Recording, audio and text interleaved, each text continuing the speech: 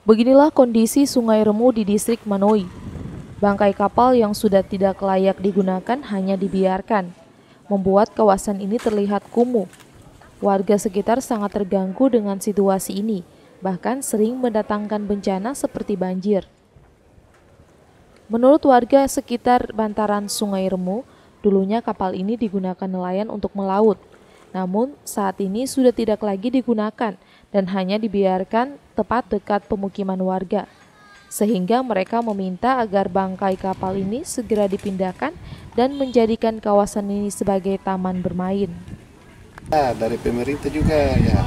Bagaimana punya ini tuh bijaksana untuk warga di sini bagaimana kan karena perahu ini juga dulu orang pakai. Tapi sudah rusak setelah rusak ini mereka kasih masuk di sini pak Pemindahan bangkai kapal ini sangat disetujui oleh DPRD Kota Sorong dan LSM Lingkungan untuk membersihkan Sungai Remu dari sampah kapal, sehingga masyarakat yang tinggal di bantaran sungai tidak lagi merasa terganggu. Sangat setuju, karena itu menjadi suatu persoalan, menjadi salah satu faktor banjir kan begitu.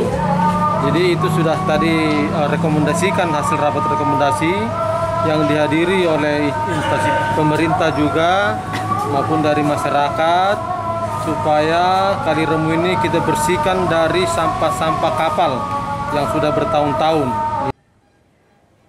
Tim Liputan Kompas TV Sorong, Papua Barat.